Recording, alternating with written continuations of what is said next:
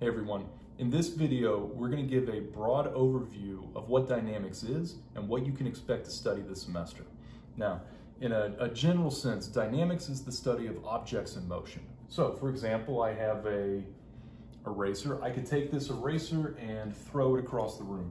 Um, what's going to happen? Well, first I'm going to have to go get it, uh, but as it goes through the air, this thing is going to spin and it's going to rotate and it's going to have some kind of tumble to it depending on how I threw it. And maybe it hits the wall or a table or the floor and it bounces off. And when it does, it has some new trajectory. Dynamics is concerned with the math behind how this object is going to move and why it moves. And we're, we're of course going to uh, discuss things like, um, like forces and energy and conservation laws. That all goes along with it as well. Now, this field of dynamics, it really comes from the work of Newton. So Newton, Isaac Newton, he was a British guy who worked at Cambridge. Uh, in 1687, Isaac Newton wrote a book, The Principia Mathematica, Prin, Principia, there we go. Uh, Principia Mathematica Philosophiae Naturalis. Um, people usually just call it the Principia. The original point of his book was to address Kepler's laws of motion. Kepler made the claim that uh, heavenly bodies, planets, when they rotated about the sun, they did so in elliptical orbits, which is correct. Uh, Kepler made these claims, but he didn't have any math to back them up. So Isaac Newton originally wrote this book to simply address that, the elliptical motion of planets. Now, in so doing, in order to answer those questions, uh, he also invented calculus uh, at about the rate that you learn it in college. He, he created this new math in order to solve these problems, which is pretty incredible. Um, it's difficult to understate the importance of this work and just how much effect it had, uh, not just on the modern world, but at the time as well. It revolutionized fields of uh, astronomy, mathematics. Uh, it, it, created this whole branch of classical mechanics, etc. Um, and that work uh, it, it, took about 50 years for anyone to come along and to significantly add anything to Newton's work. And when this man did, his name was uh, his name was Euler. Swiss. Um, it's not pronounced Euler, it's Euler. So Euler comes along uh, and he makes his contributions to Newton's work. And uh, today, when we look at it, we call them the Newton-Euler equation. So when you see that Newton-Euler, uh, that's these two guys that we're talking about. If you go back and you look at Newton's Principia, uh, it doesn't look like, like modern day calculus. It doesn't look like modern day mechanics. Um, he, he, wrote all of these series of claims. It was a, a couple hundred proofs that he did, uh, geometric proofs, all this fun stuff. And over time, over the centuries, we have uh, boiled it down to modern day mechanics. It became uh, vector calculus. And of course, from this, we get Newton's three laws of motion. So uh, let's, uh, let's go through those three laws. Newton's first law, I'm not going to write them out, the, uh, the, the, full declarations. You can, you can read them in the book or honestly just Google them. Uh, but Newton's first law is the definition of uh, inertia and equilibrium. So, what do we mean? Definition of inertia and equilibrium. The claim is that if you have an object and that object is uh, at equilibrium, uh, meaning uh, there are no forces acting on this object. So here's an object, and of course I'm holding it in my hand, but just imagine there were no forces acting on this object, then this object is going to continue doing whatever it's doing forever. All right. If it is standing still, if I set it on the on this surface, it's going to continue sitting here on this surface. If it were in motion, imagine this were in deep space, uh, no gravity, no friction, nothing is acting on it, and it's just translating through space. It is going to continue translating. If this object is rotating in place, it's going to continue to rotate. If it is translating and rotating, it's going to continue translating and rotating. Now, that might be very simple for an object like this, but if it's a uh, connected system, if it's a multi-body system, uh, what we think of as equilibrium might not be so simple. And we will look at, um, we're going to look at some objects that are uh, just one object, but they have maybe not a symmetric geometry. Maybe they have a, a strange geometry and a, an abnormal distribution of mass. We will look at what equilibrium is for one of those objects later. Uh, number two. So Newton's second law, um, you might think you know what it is. You might have encountered it in uh, a high school physics class or something. So I'm going to write down the high school physics version of it, which is F equals ma. now, uh, Newton's second law is not F equals ma. The formal definition of Newton's second law is that the differential change in linear momentum is equal to the sum of forces on an object. So where does, uh, where does linear momentum come into this problem? Well, uh, if you look at the syllabus, we're going to get to uh, topics of momentum in a few weeks, but uh, in most cases, many cases, simple cases, the formal declaration of Newton's second law does simplify down to F equals ma. Of course, when we do it, we're going to be working with, uh, we're going to be doing everything in vector space. Uh, and we are, in a couple of weeks, going to talk about the more uh, complicated form, right? The original form and the implications of it. Uh, we are going to do uh, just a, a, little discussion on rockets. and of course, a, a, key figure in rockets is that they burn fuel, they burn propellant. So uh, this equation, we don't see anything about what happens to changing mass. So if you have a system in which the mass is changing, uh, or more correctly, it's being ejected. If you have a system where you were uh, ejecting mass, or maybe you're even bringing mass in, it's called ablation, um, then there, there's extra terms in these equations. Uh, and they're not as straightforward or as simple as you think they are. So uh, we will eventually go back to the original form of Newton's second law. And I'm going to come back to this one in just a moment. Let's go ahead and, and talk about Newton's third law. Uh, Newton's third law, I'm just going to say uh, action, reaction. And of course, if you have taken, um, if you uh, think back to your statics class, if you've done free body diagrams, we know that for every action, there's an equal and opposite reaction. What does that really mean in practice? Well, if I push against my wall, then the wall is actually pushing back on me.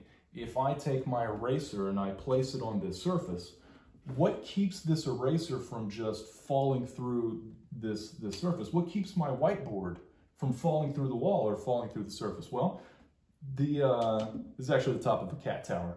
Uh, the cat tower is pushing back on the whiteboard and the wall is pushing back on the whiteboard to keep it in place. So we are going to rely on, on Newton's third law heavily when we get to our free body diagram uh, portion of the class. Um, we're going to study forces and moments um, after, after exam two.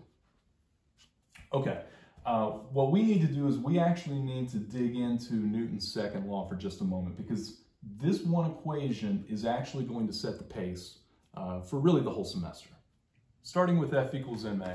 Remember, it's not actually F equals ma.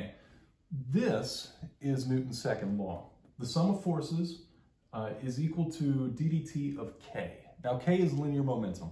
We're going to dig into the concepts of momentum in a few weeks, so don't sweat it too much right now. Um, this was Newton's equation. And then recall, I said that Euler came back a couple decades later, and he added something to Newton's work.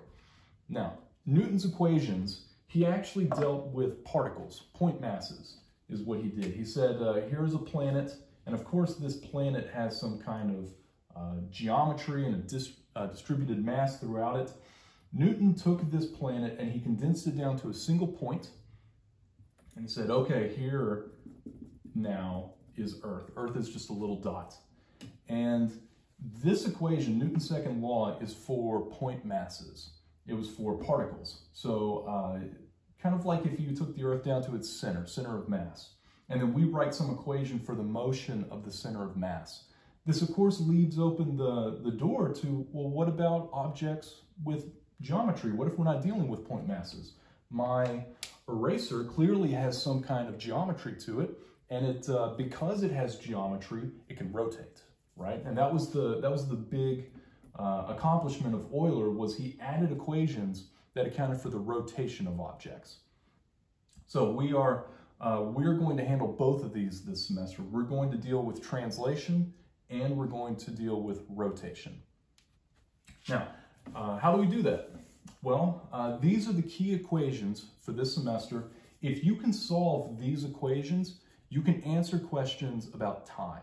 And that's, that's ultimately the goal in dynamics. Suppose that um, you are launching a rocket. So here's our rocket, and right now it's on the launch pad, and we're going to fire the booster. Those boosters are going to generate thrust on this object, on this rocket, and that thrust, those forces are going to generate some acceleration, and it's going to take off and off and off, and up it goes. If you have some information about this rocket at time zero, if you know where it is and how fast it's going, in this case, there it is, and it's not going anywhere, uh, and we're able to solve for these forces, we can actually find the entire time history of the motion of that object. I can tell you at 30 seconds where it is and how fast it's going. At a minute 30 seconds, how fast is it, uh, where, where is it, and how fast it's going. So that's ultimately the goal. We want to be able to say, uh, after 10 seconds, the block, the sliding block, is going this fast. After two minutes, the rotating gear is rotating at this speed, something like that. So in order to do that, we need to be able to answer these, uh, or build these equations to answer those questions. So uh, looking up here at F equals ma, again, this is, the, uh, this is the simplified form of it that we're going to be working with most of the time. In F equals ma, there's clearly three parts. We have the forces, we have the mass, we have the acceleration. Now, the easiest of these you might think is the mass. Okay, uh, here's an object, this object has mass, right? But remember, we're not doing just Newton's law, we're doing Euler's law as well. And the rotational analog of this equation, it's no longer mass that you deal with, it is the distribution of mass. For example, we could have a solid sphere, and we could have a hollow sphere, and these spheres could have the, uh, the same volume and the same mass. They could be made of different materials. We could say aluminum, and we could say iron. Iron, of course, is heavier, uh, more dense than aluminum, so we hollow this thing out, and perfectly these things have the same masses. These two spheres will behave exactly the same according to Newton's second law, which again is just translation, but they will rotate differently because the distribution of mass in these two objects is different. So uh, we have to spend some time talking about mass and inertia. Inertia is the distribution of mass. So that's one part of the class. Another part of the class is dealing with A, acceleration. Uh, acceleration is the uh, derivative of velocity. Velocity is the derivative of position. What that means is if we want to be able to characterize the acceleration of some object, the first thing we have to do is characterize the position of that object. If we want to talk about its orientation, okay, we need to keep track of that as well. Uh, so the first part of the class, if you look at the syllabus, uh, the first several weeks is talking really just about A. And this A right here, uh, sometimes you'll hear this term kinematics. Kinematics is the study of the motion of a system of a, or of a body uh, without worrying about the forces. All we're doing is we're just discussing the motion, how it moves. So we have to spend several weeks talking about the kinematics, and we're going to slowly build up to it. So that's exam one. Exam two is going to be on uh, mass and inertia, and that's where we're going to bring in these topics of momentum, and we're also going to talk about uh, energy at that point as well. Next, uh, once we clear the acceleration and uh, momentum, then we're going to do uh, a week or two on forces and moments. We're going to hammer home free body diagrams. You have to be able to do it. If you're able to do all three of these parts, you take those parts, you can bring them together, uh, and now we can construct the Newton-Euler equations. So again, look at the syllabus. There is um, there's a couple of weeks where we're going to take all of this and we're going to combine it, and then we're going to start working problems based off of uh, what we call, once you have this, uh, this is called the equation of motion. And depending on the system, it might be equations, equations of motion. You could have several equations uh, that govern the motion of a system. So uh, that is ultimately the goal of undergraduate dynamics. I give you a system, I give you a problem, this is what's gonna happen on the final. I give you a problem, and I say, I need the equations of motion for this problem. And you have to understand the entire process of being able to define acceleration, defining mass and inertia terms, and being able to find the forces and moments. If you're able to do that, you're gonna do just fine in this class. And honestly, you're gonna do just fine in engineering. Uh, this math that we're doing right now, it is the fundamental math behind rocket science, behind automobile design, behind control theory, um, anything dealing with things that move. You need to be good at dynamics. So that is, uh, that is going to be the focus of this class. Uh, and we're going to do a, a, handful of other fun things along the way. Like I said, there's going to be energy discussions. Um, there will also be impulse and momentum discussions, which is really uh, one uh, contact impact, um, objects colliding and bouncing off each other, uh, but also um, imagine that you had uh, like a fireman holding a fire hose. There's a there's a lot of pressure on the water in that line and it comes out at a very high velocity. And if you are holding that fire hose, you feel it. It is pushing back on you. So we'll talk a little bit about how you find that, uh, that thrust imparted from a, um, a fluid. Okay, uh, so that's the plan for the semester. Where we're gonna start, the next, uh, the next couple of videos are really gonna focus on this acceleration and we're gonna take it nice and slow.